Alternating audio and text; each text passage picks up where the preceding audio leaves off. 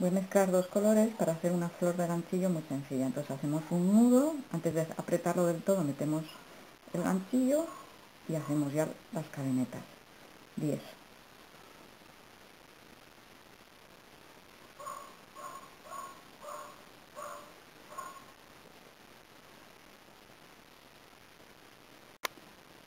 Hacemos 10 cadenetas, entonces lo metemos en el primer agujero y hacemos lo cerramos. Una vez que lo tenemos cerrado hacemos dos cadenetas más y entonces hacemos puntos altos que son se lía dos veces el ganchillo entonces se pincha en el agujero y luego se va sacando con la hebra de uno en uno. Uno dos y tres. O sea, hacemos dos vueltas pinchamos, sacamos la hebra por ahí, lo liamos otra vez el ganchillo y sacamos. Siempre. Parece que son dos, pero es la hebra que hemos liado, es la que liamos y los que quedan en el ganchillo. Esto hay que hacerlo cuatro veces. Entonces dos veces ahí. Pincha.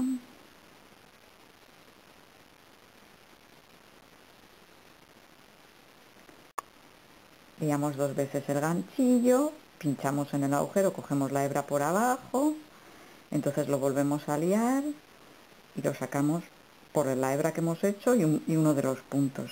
Una hebra y un punto. Uf, vale, hecho tres es igual, vale. Tenemos cuatro palos y los dos, las dos cadenetas.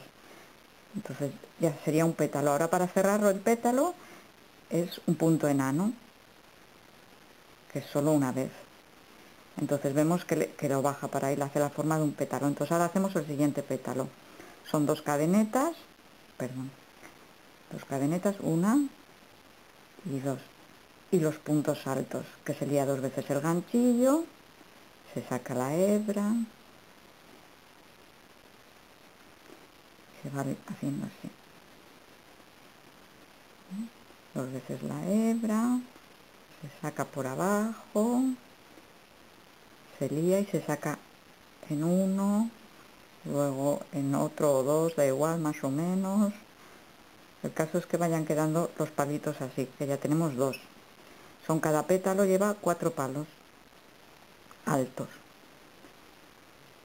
Bueno, la verdad es que lo puedes hacer más grande o más pequeño, depende al gusto que quieras. Pero pues a mí me gustan más o menos así. Hemos hecho cuatro pétalos y ahora vamos a hacer el último. Voy a intentar hacerlo más despacio. Hacemos dos cadenetas. Dos. Liamos dos veces el ganchillo y lo metemos en el agujero.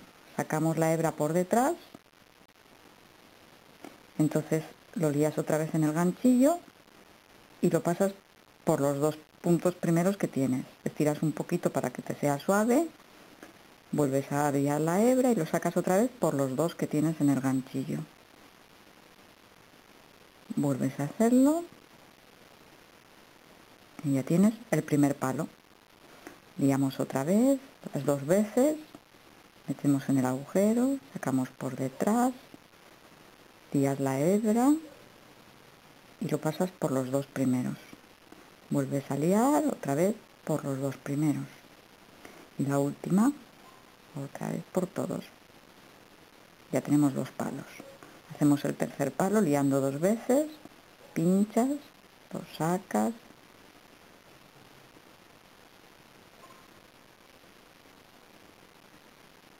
No sé si será bastante despacio porque el que sabe pues lo parece muy fácil. Y al que no sabe pues igual no le parece tanto. Liamos dos veces pinchas en el agujero coges la hebra, tiras un poquito, coges otra vez y pasas por los dos. Lías y pasas por otros dos y al final por todos. Y ya está, ya tenemos los cuatro palos. Entonces ahora hacemos el punto enano, pinchando, lo coges por detrás, sacas por lo que te queda y ya tienes la flor. Así ya podríamos usar la flor, pero como yo quiero que me quede más grande, pues voy a hacer otra fila de pétalos. Entonces hago tres cuatro cadenetas y pincho aquí dentro, por detrás. Cojo dos hilitos por ahí, saco y hago como si fuera un punto enano, pero por detrás. hago tres cadenetas, una, dos y tres, flojitas, y en el siguiente cruce de, pétalos cojo uno de cada por ejemplo o más o menos. La cosa es que por la parte de atrás de la flor voy haciéndole un cerco de cadeneta de donde luego engancharé los pétalos. Eh, para acabar el cerco de atrás enganchamos en el primer punto que hemos hecho de la cadeneta anterior. Lo sacamos ya está. Ahora hacemos como hemos hecho los otros pétalos. Dos cadenetas. Y en vez de pinchar en el agujero pinchamos en este en esto que queda aquí atrás. Hacemos las dos vueltas. Pinchamos. Y sacamos dos otros dos y otros dos. Y hacemos como antes ya tenemos un palito. Ahora seguimos haciendo los pétalos